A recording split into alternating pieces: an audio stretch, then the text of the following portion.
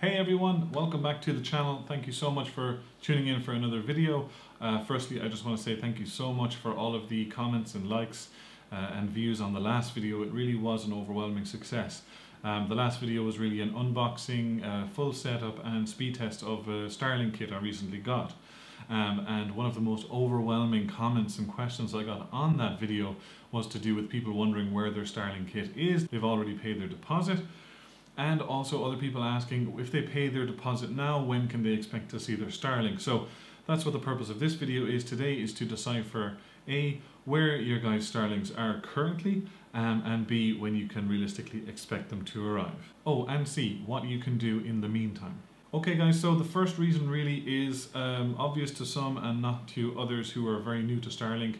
Starlink is still in beta, so that means it's still uh, very much in a testing phase.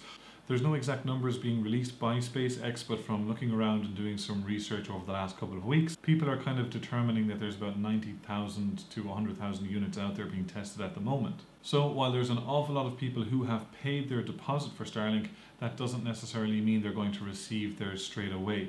I'm based on the west coast of Ireland and I was very, very lucky to be in an area that SpaceX obviously wanted to start some testing in. Over time, more and more areas are going to be selected for testing and overall, when Starlink comes out of beta and into alpha, it's going to be rolled out uh, throughout the masses anyway. So that kind of leads us on to reason number two. Reason number two is that there's limited testers per cell.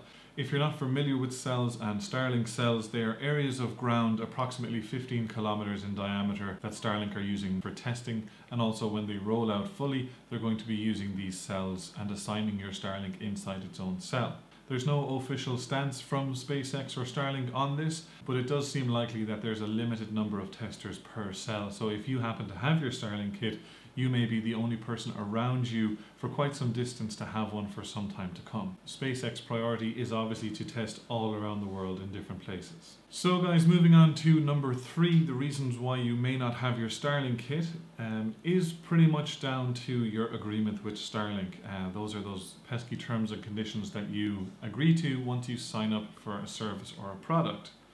So guys, in your agreements with SpaceX regarding Starlink, Payment deposit does not obligate SpaceX to provide you with the Starlink kit and services and does not guarantee that the Starlink kit and services will be available to you.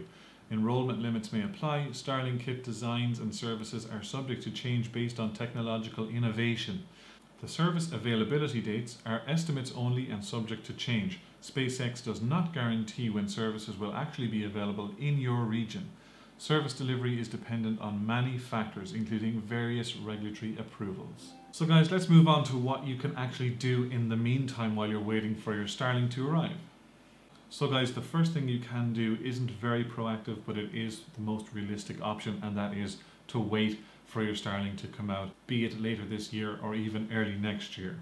Your deposit is fully refundable, so you can pull your deposit back to you if you wish, but I would be more inclined to leave that $99 where it is and when Starlink arrives, it arrives. If you happen to end up with fiber connection in the meantime, then you can pull your refund at that point so long as your Starlink hasn't been shipped. And lastly, this is kind of obvious and hopefully not too patronizing, but do check your spam folder for that email from SpaceX and Starlink. Your email client might get confused and think it's some sort of advert, when in fact it actually might be the release email you've been waiting for to let you know that your Starlink is ready to be shipped and to pay your final invoice uh, to get the ball rolling. So guys, I hope that video was really helpful for you. Some of you, of course, are very familiar with Starlink and SpaceX and what's happening at the moment, so you may have already known some of those points.